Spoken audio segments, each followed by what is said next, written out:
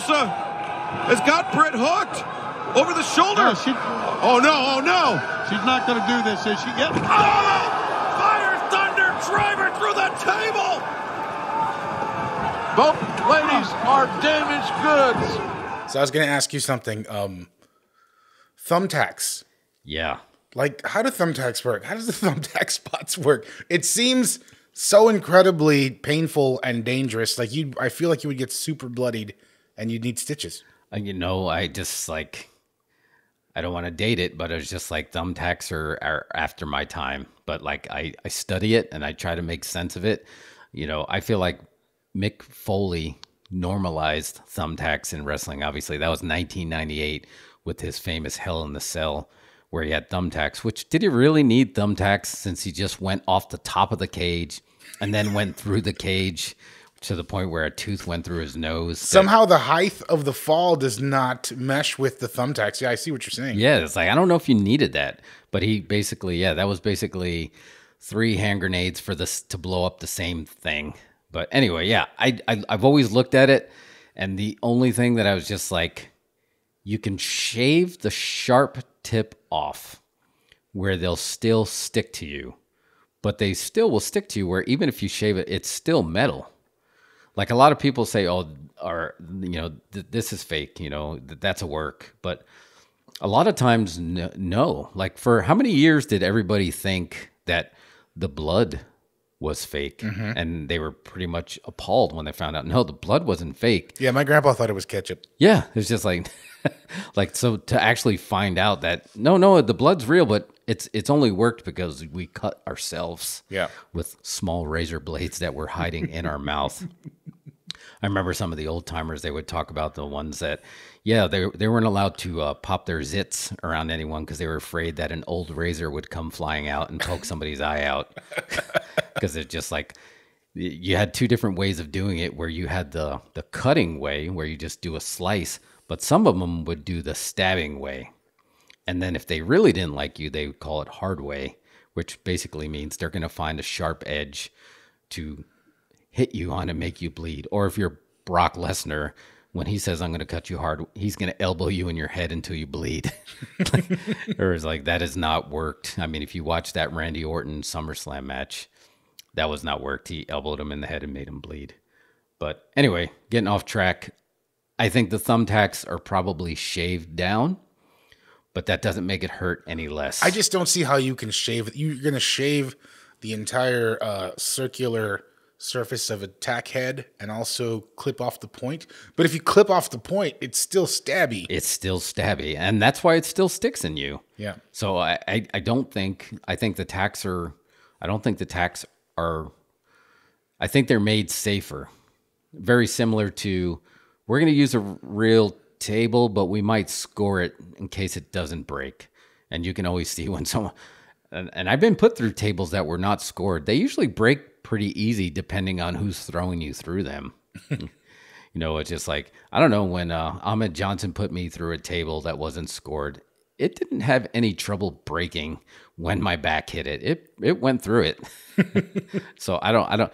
The scored always kind of weird. It's just like if it's too worked, it's gonna look too. Uh, I don't want to say the f word. If it's too worked, it's not gonna. You're gonna lose the illusion. So I think with the tax, man, I don't know. It, even like you said, it's still going to stab in you. And you see the little points of blood, but it's just not going to draw as much blood because it's not going to go as deep. Yeah. But you But it just seems like every surface, every angle of that will poke into your, Yeah. break your flesh. And if you look at it, like when they're like doing a roll up or something, they're sticking in the bottom of their shoes. They've Yeah. they've sunk in the rubber, so they're gonna sink into you. If they're gonna sink into the rubber, they're gonna sink into your flesh. But I don't know with with uh with our we're talking we're we're jumping into the lights out match, right? Yeah. So is this the end of the feud? In theory, it should be. I mean, I think Because this this Britt is and the, Thunder Rosa have been going at it for a while now. for a long time. And Yeah. this is no better. You know, you have the blow off match, right? You need the blow off match to end the feud. And if it was old school wrestling, I would say yes, just because you had the champion in the back watching that she knew whoever survived this match was coming for her title. The difference is here now, I don't know if necessarily the survivor of this match is going to be the one that's going to get the title shot because I feel like they had a little bit of Stone Cold Bret Hart going on, where even though Stone Cold passed out and was the one bleeding and lost the match, he got over bigger. You know, that was the famous double turn because Stone Cold got over so big in that match that Bret became the heel. Where I feel like Britt, even though she lost the match, I feel like she is going to be the one that's in line for the title. But I feel like the rules are different now. Are they going to use this to set up? Because now they're both over. I mean, I don't know. Is Thunder Rosa still under contract with NWA? See, I don't know what's going on with that, but it occurred to me that I feel like they wouldn't have booked Thunder Rosa to win if they didn't have plans for going forward. Jade Cargill was the one in the audience watching. Yep. I felt like they were setting up Jade Cargill and Thunder Rosa. Which they could be. Yeah. And I don't think they do Jade Cargill and Britt because they're both heels. no. Yeah. And now they could also do a, a triple threat, right? When back in the blow off match, there was no such thing as going into a triple threat because they both got over. I mean, they stole the show. I mean, this is, we're in March and this is the match of the year candidate because make no mistake, you can call wrestling a work. They beat the shit out of each other, and you saw the welts on both of their bodies that they were just like you know you know they say we're not pulling any punches.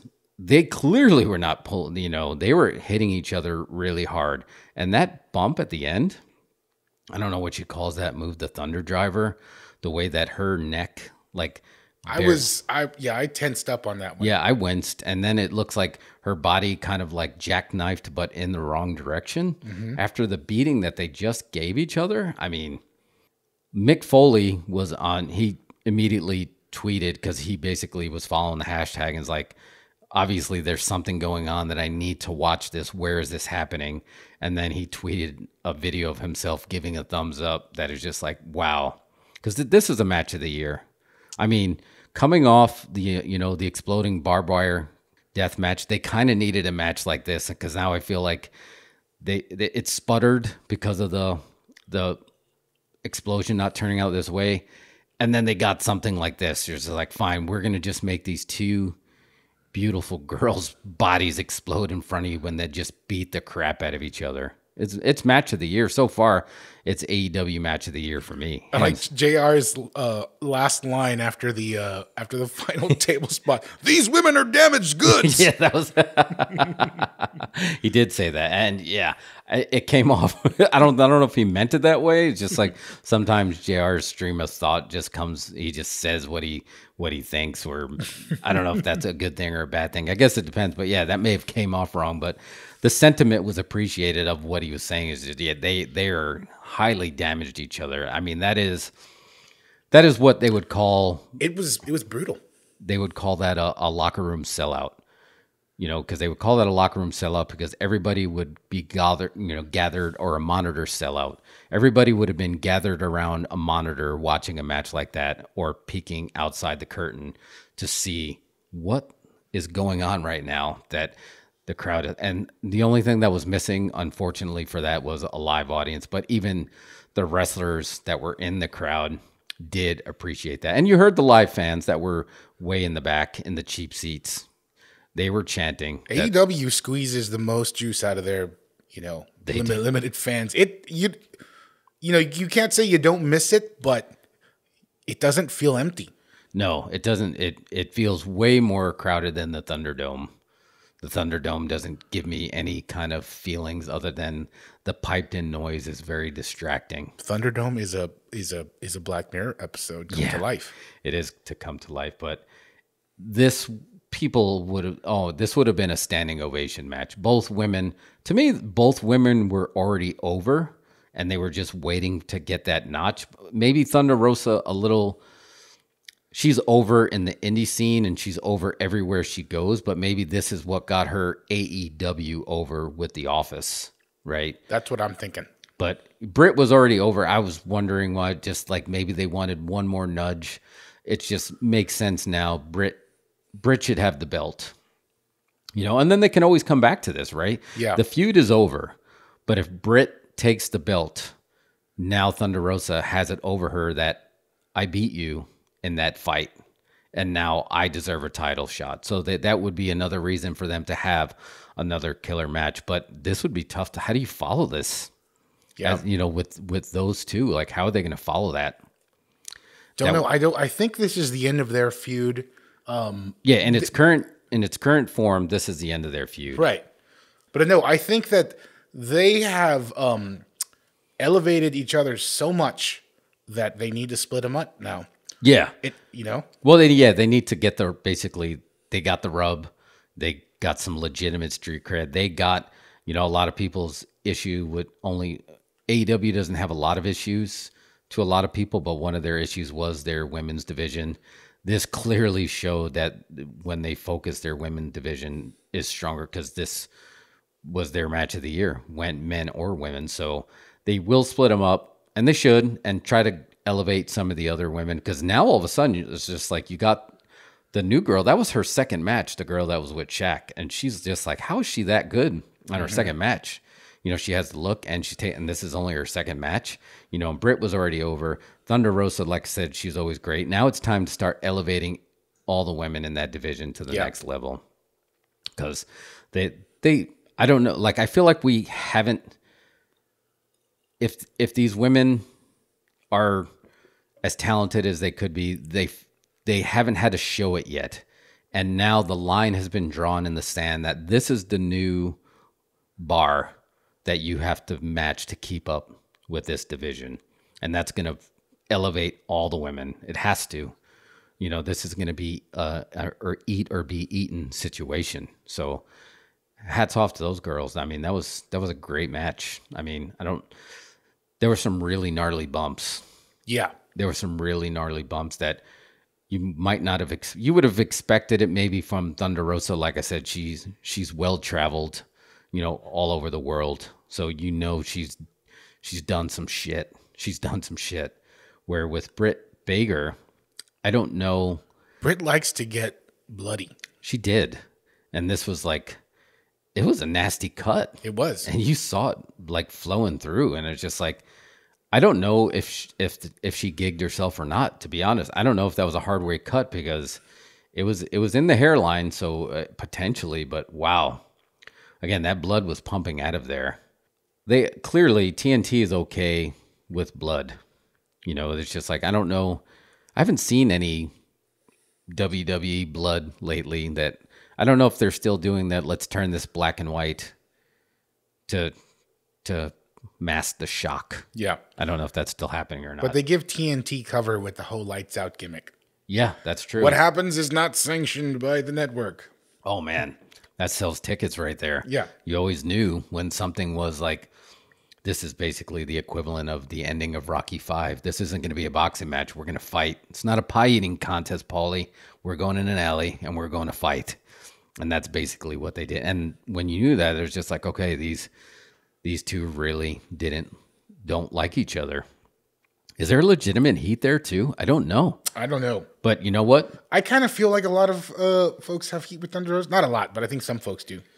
But to me, honestly, good not good that they don't get along, but good is in the sense that you're like that adds the element of realism that's is missing all the time. I don't Yeah. want to see you know what I don't want to see after that match? Thunder Rosa and Britt Baker uh, putting an Instagram story up of just like posing in the in the locker room with each other. Yeah. I don't want to see that because I just I you got me to suspend my belief. So keep it that way. Start to bring kayfabe back a little bit. You know, we know Yeah. it's not it's not big, but you will tune into a match where you're like, "Hey, I heard these two don't really like each other."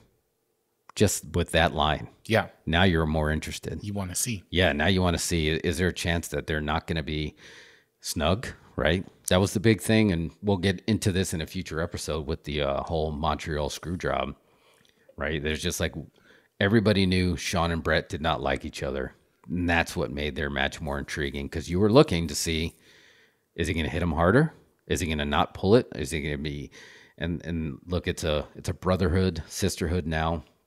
That basically, I'm giving, I'm opening myself up to you, my body, for the sake of the business, for the sake of us to make money. Treat me with care because I'm giving, you know, I'm gonna get you over by basically letting you do things to me that you wouldn't normally do in a fight, right?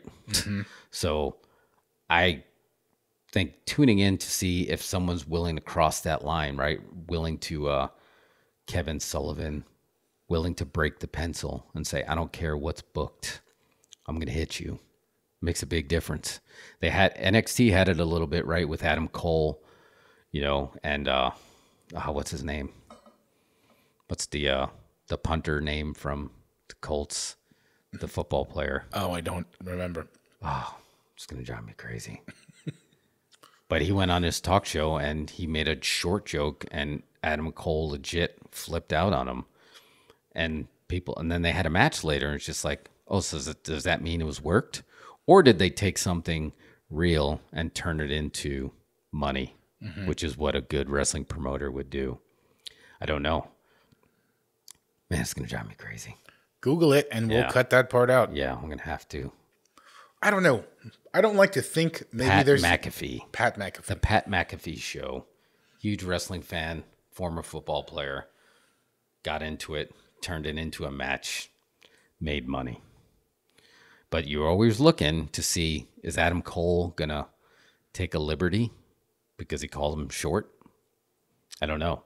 But that's just important. It's just like so I was already a little intrigued if there was a little bit of heat there. So I don't really know want to know if there was really heat there or not because they hit each other really hard. And I guess that's it's 2021. Your your wrestling is going to be a lot more snug than it used to be because now you're coming up on basically a, a a generation of fans that do not know a world without UFC and know what it looks like when you punch somebody in the face for Right. real. Like nobody's gonna, you know, straddle somebody on the top of the cage and call for the crowd to count along with a 10 punch to the head because you know what's gonna happen after one of those punches. So mm-hmm. that makes a big difference. Great match though. Oh yeah, it really was. It's just like it. It stole the show, but it also stole the year. I mean, that would have been the match that, if that was on the pay per view that they just had, you got your money's worth with just that match. Yeah, I think that there's another qualification that's not stole the show. It wasn't a show stealer. It was like intended to be the main event, and it completely went over as the main event. You know what I mean? Oh yeah. Nothing else. You no one talked about anything else from that night of uh, No. Dynamite. Except and and here's the thing about that. Nobody else talked about it, but it was a great show. It was a great show. It had a great show. It had the introduction of Pinnacle, which basically is going to be Four Horsemen 2.0. I mean, it basically paid off on that great angle that they've been doing with MJF and the Inner Circle. They had some solid stuff. There was nothing bad from that night, but it just this was just that powerful and they tweeted out a video afterwards of uh you know Britt talking to Tony Khan who's in the audience and he basically acknowledged it's like this was the best show that we've ever done and it was because of you too. And it was great that it's just like it just doesn't seem like that long ago that you know we were talking about the women's revolution even though women have been in wrestling as far as I remember right? I mean you go all the way back but there wasn't that there was only in that that attitude era of the bra and panties match where it feel like maybe it took a step back a little bit and that just doesn't even exist anymore. That is just like it is just men No, and women wrestlers. It's strange to me to think that the former women's belt was the Divas Championship. yeah right? And it's just like dripping in blood. I mean they just they made it look a little bit too that was just a little bit too pg i mean those women already could go. I mean these it's it's going to take a lot more to just now for looks i guess maybe there was a, a, time period where a lot of women were getting into wrestling just on their looks and this is it maybe it's starting to go away i don't know but it's just like even the women that were supposedly you know the the trish stratuses and the torrie wilsons that you know kind of came in just on their looks and they actually turned out to be really good workers. You know, they did they turned it around in a time where, but now it's just like, okay, now everybody's coming in. So what are you going to do different? You know, what are you going to do that's going to get you over? Which is the whole thing, right? It's just what are you going to do to get? What are you going to do to get me to buy a ticket, virtual ticket now? What are you going to do to get me to invest my time in watching you? Besides your look, and yeah, this is this was that. You know, these are two good-looking women, but they beat the crap out of each other to the point where the hardcore legend was like, "Yeah, this is good." And it was the build to the violence was great. Oh yeah, the pacing was great because honestly, as we got to um, the main event, I kind of looked at the clock and I was like, "There's only 20 minutes left." You know, I thought maybe, I thought this was going to be sort of um, more like a marathon. You know, one of those matches that goes on forever. Oh yeah. No, they no indication that it was going into death match territory. No. Oh, and it did. It really did and I don't like I said I don't know if it was a conscious decision like hey we just had an exploding death match and there wasn't a big explosion so we need something to elevate again and they delivered